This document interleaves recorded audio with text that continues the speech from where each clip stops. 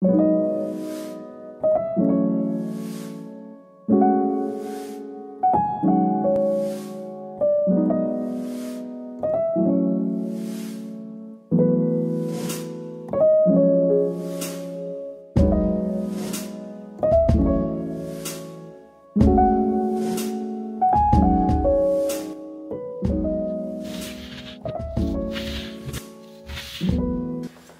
gente, soy Isaac Mostazo. Bienvenido a mi canal de YouTube. Hoy os voy a enseñar, os voy a mostrar el unboxing de la lijadora al agua que gracias a Lombarte Group vamos a disponer en el taller.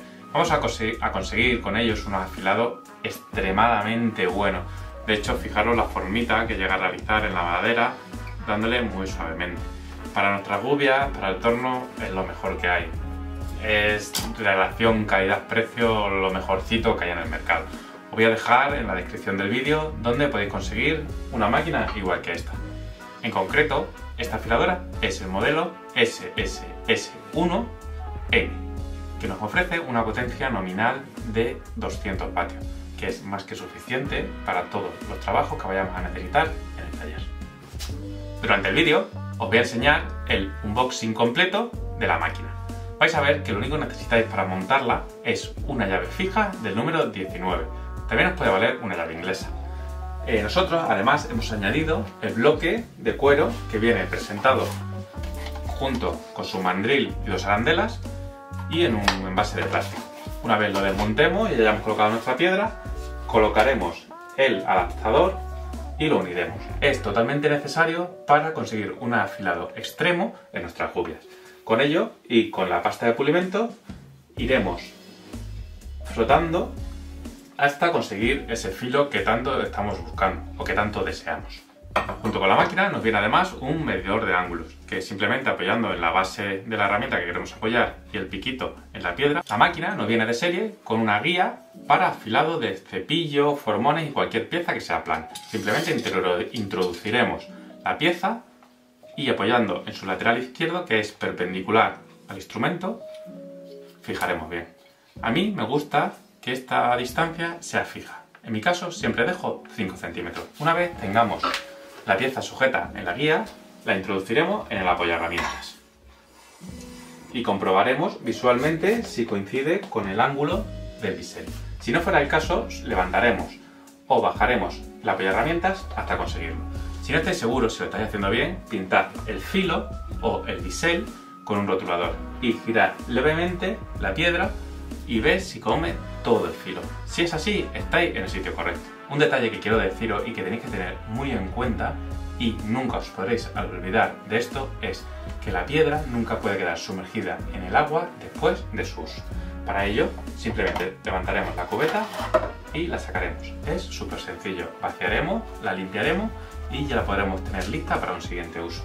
El agua que hay en el interior de la piedra no le ocurre nada, pero si la dejásemos sumergida, la piedra se deformaría y arruinaría el buen funcionamiento de la misma. Una vez la tengamos limpia, simplemente es volverla a colocar en su sitio, que se realiza de una manera muy sencilla. Así que, con poquito más que decir, vamos a realizar el unboxing de esta pedazo de máquina que nos han enviado los amigos de Lombarte. Así que, mil gracias a Lombarte por esta pedazo de colaboración y espero que os guste lente. Amigos, se me olvidaba una cosa súper importante, además de la afiladora Lombarte SSS1N, que es que trae inversor de giro. ¿Qué significa? Que si le damos al botón para arriba, nos gira hacia un sentido. La tendríamos que parar para que girara en sentido contrario. Y le damos. Esto nos da mil opciones a la hora de afilar, ya que la rebaba queda en diferentes sitios si afilamos hacia nosotros o hacia afuera. Así que ahora sí, vamos a ver el review de esta pedazo de máquina. Lo primero que quería deciros es que los afilados que vais a ver durante el vídeo son los primeros que he realizado con la nueva afiladora que ha llegado al taller. Así veréis lo realmente fácil y rápido que se aprende a utilizar esta máquina. Una vez abrimos la caja, nos encontramos con las instrucciones, el medidor de ángulos, la pasta para pulimentar, también nos encontraremos la guía para herramientas planas, tipo cepillo, formones o cualquier otro instrumento que necesitemos afilar.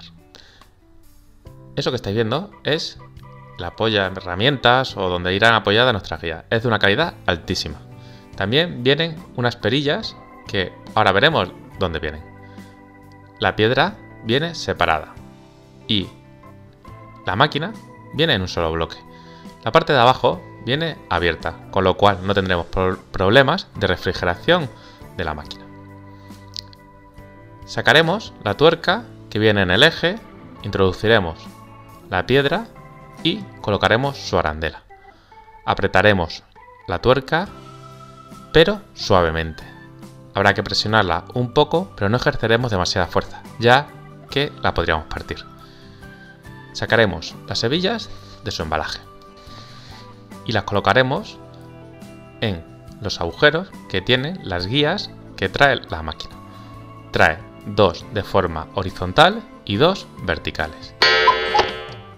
Cada perilla a su agujero. Esto sujetará y nos permitirá regular la altura del apoyaherramientas, que simplemente será introducirlo hacia el lado que necesitemos, hacia la izquierda en la imagen para utilizarlo con la piedra de afilar y hacia la derecha con el disco de cuero para hacer el pulimento.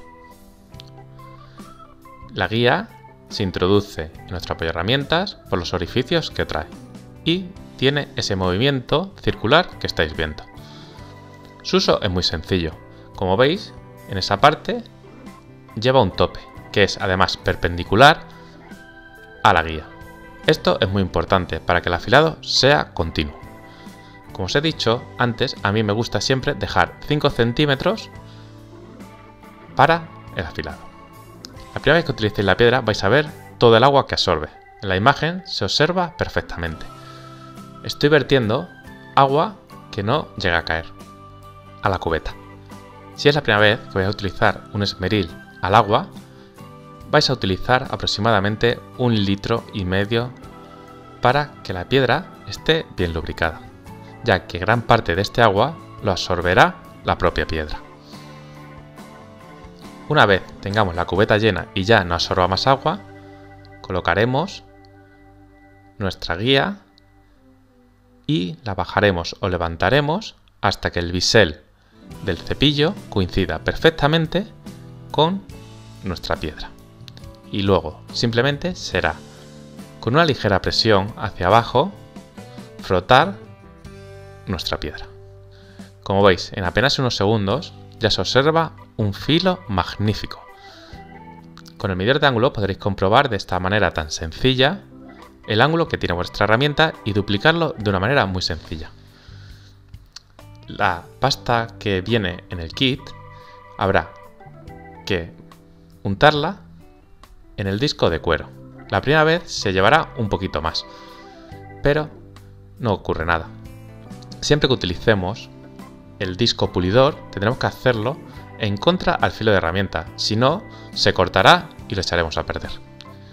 En apenas unos minutos fijaros el filo que hemos conseguido o un cepillo de carpintero, que el ángulo viene siendo aproximadamente de 30 o 35 grados y no sería el correcto para cortar papel.